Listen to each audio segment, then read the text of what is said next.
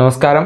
Raf talks ഫുട്ബോളിലേക്ക് ഏവർക്കും സ്വാഗതം. സൂപ്പർ താരം ലയണൽ മെസ്സി പി എസ് ടിയുമായുള്ള കോൺട്രാക്റ്റ് പുതുക്കുമോ ഇല്ലയോ എന്നുള്ളത് ഇനിയും തീരുമാനമാവാത്ത ഒരു കാര്യമാണ്. നമുക്കറിയാം ലയണൽ മെസ്സിയുടെ ക്ലബ്ബുമായുള്ള കോൺട്രാക്റ്റ് അവസാനിക്കാൻ ഇനി കേവലം മാസങ്ങൾ മാത്രമാണ് അവശേഷിക്കുന്നത്. ഇതുമായി ബന്ധപ്പെട്ട ചർച്ചകൾ പി എസ് ടിയും അതുപോലെ തന്നെ മെസ്സിയുടെ ക്യാമ്പും നടത്തുന്നുണ്ടെങ്കിൽ പോലും ഇതുവരെ ഒരു അന്തിമ തീരുമാനത്തിൽ എത്താൻ മെസ്സിയുടെ ക്യാമ്പിനോ അല്ലെങ്കിൽ പി എസ് ജിക്കോ കഴിഞ്ഞിട്ടില്ല എന്നുള്ളത് തന്നെയാണ് യാഥാർത്ഥ്യം. ഖത്തർ വേൾഡ് കപ്പ് അവസാനിച്ചതിന് ശേഷം മെസ്സി ഉടൻ തന്നെ പി എസ് ജിയുമായുള്ള കോൺട്രാക്റ്റ് പുതുക്കും എന്നായിരുന്നു ഖത്തർ വേൾഡ് കപ്പിന് മുന്നേ നമുക്ക് അറിയാൻ കഴിഞ്ഞിരുന്നത്. എന്നാൽ വേൾഡ് കപ്പിന് മുന്നേ ക്ലബിന് മുന്നിൽ പ്രത്യേക ഡിമാൻഡുകളൊന്നും ലയണൽ മെസ്സിക്ക് ഇല്ലായിരുന്നു പക്ഷേ വേൾഡ് കപ്പ് നേടിയതോടുകൂടി മെസ്സിക്ക് സാലറിയുടെ കാര്യത്തിൽ ചില മാറ്റങ്ങൾ വരുത്തേണ്ടി വരികയായിരുന്നു എന്നുള്ളതാണ്. കൂടുതൽ സാലറി അടുത്ത കരാറിൽ വേണം എന്നുള്ള നിലപാടാണ് നിലവിൽ ലയണൽ മെസ്സി എടുത്തിട്ടുള്ളത്.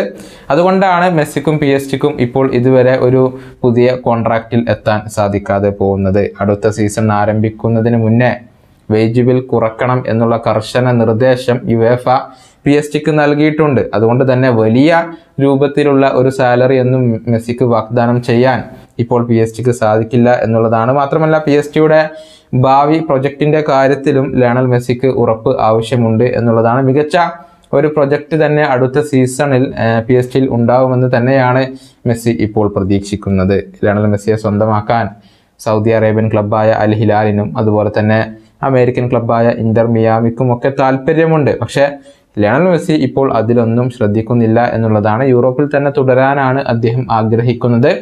ഈ ഒരു സാലറിയുടെ കാര്യത്തിലുള്ള ഡിമാൻഡ് അംഗീകരിച്ചു കഴിഞ്ഞാൽ തീർച്ചയായും ലയണൽ മെസ്സി പി എസ് ടിയുമായി കോൺട്രാക്റ്റ് പുതുക്കുക തന്നെ ചെയ്യും. ഈ വീഡിയോയുടെ അവസാനിപ്പിക്കുന്നു. മറ്റൊരു മേ കാണാം.